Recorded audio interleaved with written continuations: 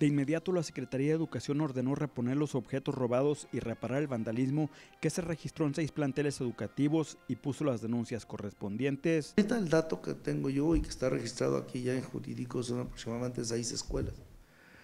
Y claro que los actos fueron de robo y también pues vandalizaron los, los edificios escolares, entre otros.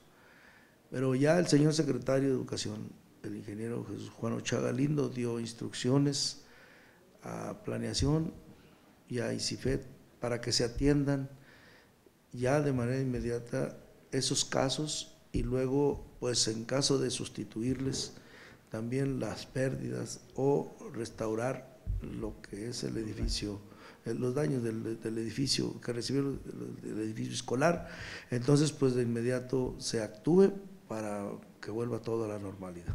Hubo algunas denuncias de... Afirmó que para cobrar el importe del seguro se dio aviso a las autoridades sobre estos actos vandálicos. Y se tiene que hacer porque nuestras escuelas tienen un seguro y debe haber una denuncia para que pueda proceder el trámite del seguro de cada institución. Entonces sí se hizo. En breve las escuelas vandalizadas ya estarán operando con normalidad. Con la cámara de Gerardo López para RSG informó Eduardo Sarabia.